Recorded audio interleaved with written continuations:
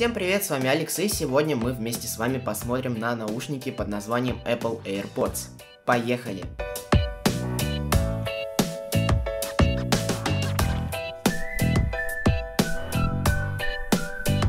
Ну и для начала, как и любой продукт, наушники нужно распаковать. И сверху, как во всех новых продуктах от компании Apple, то есть iPhone и наушники, мы видим комплектацию, а не само устройство. Здесь у нас название наушников AirPods. Что там внутри, давайте посмотрим. Так, здесь нам показывают, как мы можем подключать наушники. То есть сначала нам нужно включить Bluetooth устройство на своем телефоне, подключить наушники и начать прослушивание музыки. Далее всякая ненужная макулатура, которую, как по мне, лучше не класть, потому что она все равно бесполезная.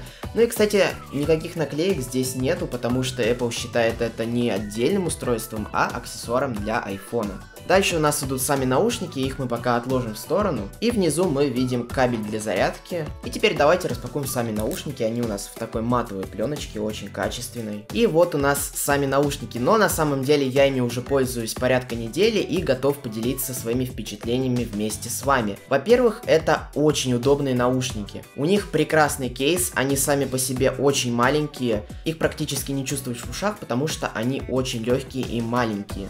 Вот у нас один наушник, вот второй.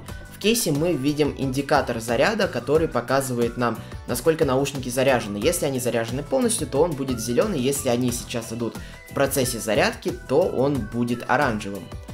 Снизу мы можем заметить в чехле специальные коннекторы, с помощью которых наши AirPods будут заряжаться. То есть вот таким способом они у нас примагничиваются к кейсу и очень удобно их в нем хранить. На задней части у нас располагается вот такой вот шарнир, на котором у нас держится верхняя крышка кейса. На самом деле он очень хороший, и мне спустя неделю он вообще не разболтался, и чехол до сих пор закрывается точно так же, как в первый день. Также сзади у нас есть э, маленькая кнопочка, которая позволит синхронизировать наши наушники с другими устройствами.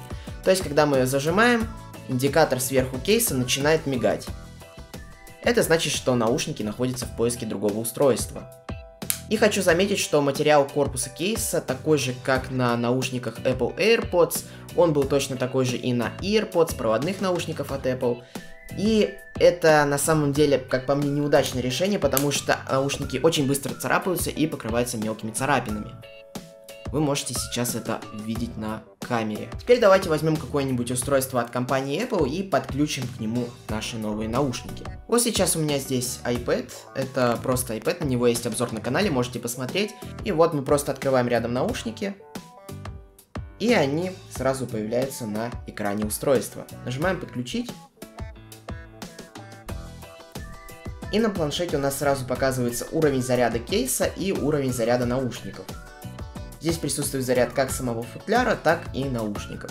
Если бы у них был разный заряд, то есть, к примеру, вы пользовались только одним наушником, к примеру, левым в течение всего дня, то у вас будет показан заряд и левого, и правого наушника, потому что он у них будет разный. Про сам звук в наушниках я могу сказать только то, что он на уровне обычных проводных Apple AirPods, которые были представлены еще с пятым айфоном. И, кстати, в отличие от них, беспроводные наушники от Apple держатся в ушах лучше. Как по мне, это связано с тем, что Обычный AirPods у нас вниз тянет провод, и они за счет этого становятся немножко тяжелее и хуже держатся в ухе. А за счет того, что беспроводные наушники, как это ни странно, без проводов, они держатся в ушах намного лучше, потому что они легкие, их никуда не тянет провод. И, кстати, вот эта длинная часть, в ней расположен микрофон, и в левом, и в правом наушнике, что, как по мне, очень здорово. Она упирается немножко в кость, и за счет этого наушники держатся еще лучше, чем могли бы. Сами AirPods очень умные, здесь расположена куча датчиков, то есть снизу есть микрофон, вот как раз таки в этой ножке, здесь тоже микрофон сверху, сам динамик и датчик э, движения. Он помогает наушникам понять, когда вы их снимаете и когда обратно одеваете. За счет этого они могут автоматически останавливать музыку, ставить ее на паузу. То же самое работает с, э, при просмотре видео, фильмов, ну и так далее. Раньше у меня были вот такие вот беспроводные наушники от Beats, они называются Power Beats 3. И на самом деле это реально классные наушники, они позиционируются на сайте как спортивные, и они полностью с этой функцией справляются, они отлично держатся на ухе за счет вот этой вот э, резиновой дужки. У них сверху также есть индикатор, который показывает, что наушники разряжены, заряжены, что они в процессе подключения к новому устройству. И эти наушники у меня сломались. Теперь при включении индикатор просто 3 раза 4 мигает, и все, ничего не происходит. Я чего только не пробовал, я их и перезагружал, и пробовал сбрасывать настройки, ничего не помогает. Также вы можете заметить, что вот одна дужка на левом наушнике у меня отвалилась, я ее сначала пробовал приклеить, у меня это не получилось, но я забил на это дело и решил их использовать так, в принципе они тоже нормально держатся в ушах. Но все-таки они у меня сломались, и теперь с ними практически ничего нельзя сделать, потому что в интернете на эту тему пишут, что какая-то проблема с батарейкой, и, к сожалению, починить их невозможно, можно только поменять на новые. И, кстати, вот от них у меня был вот такой вот резиновый кейс, он очень неудобный, он реально очень сильно собирает пыль, вы можете даже сейчас это немножко видеть на камере. Его неудобно убирать э, в карман джинс, вы вряд ли будете носить эти наушники с собой в чехле, потому что без него их еще реально убрать в карман, к примеру, брюк.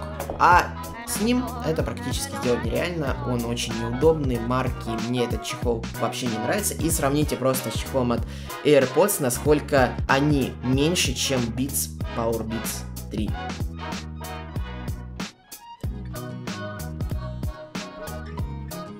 И, кстати, это основное достоинство этих наушников, то, что они очень маленькие, и вы сможете их засунуть буквально в любой карман, потому что они реально очень маленькие, а точнее их корпус, потому что если сравнить с Gear Icon X 2, то там корпус тоже очень хороший.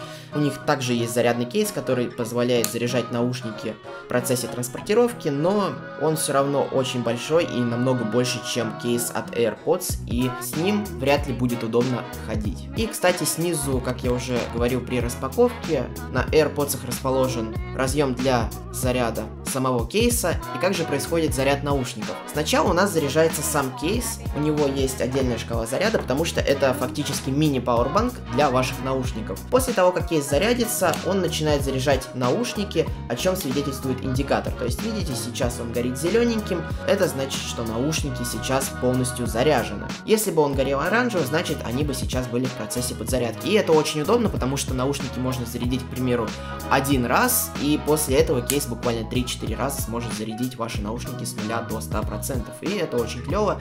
Я ими пользовался где-то около двух дней без подзарядки, и мне было очень комфортно.